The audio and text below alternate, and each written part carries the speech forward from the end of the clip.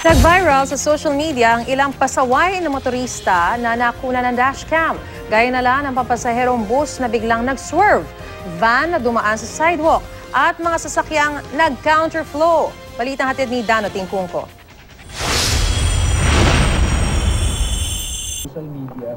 Bukod sa CCTV, malaki rin ang halaga ng dashcam sa mga motorista para makuna ng mga pasaway sa kalsada.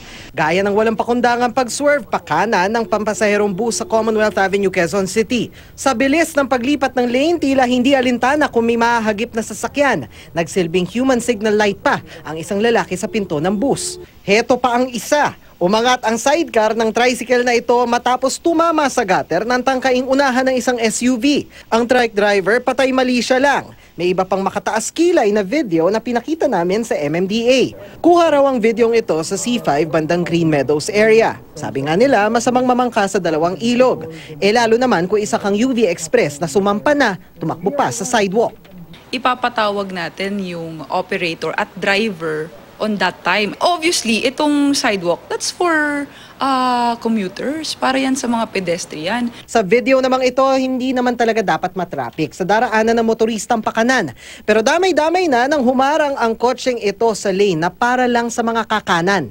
Pagmasdan naman ng motorcycle rider na ito. Suray kanan, suray kaliwa. Maya-maya biglang patalon-talon. Hindi tuloy malaman ng mga nakabuntot sa kanya kung paano iiwas. Nasa M, uh, motorcycle lane naman siya. So, okay. Pero ang concern dito, hindi yung kanyang, kung nasan siya. Ang concern dito, yung pagiging reckless driver niya. And last but not the least, ang kuhang ito, not one, not two, but sang katerbang sasakyang tila gumawa ng sariling daan ng sunod-sunod mag-counterflow. all these people, these people counterflowing. Ang isa lulusot pa pero hindi pinagbigyan ng motorista. Huminto naman ito, umatras at bumalik sa tamang lane. Philippines.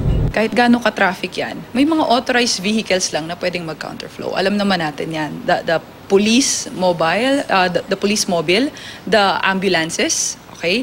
Yung mga emergencies. Ayon sa MMDA, ang bigat ng trapiko hindi dahilan para lumabag sa batas. Aminado ang ahensya, may kulang pang halos isang libong traffic enforcers kaya hindi lahat ng lugar na babantayan. Pero magdadagdag na raw sila ng mga tauhan.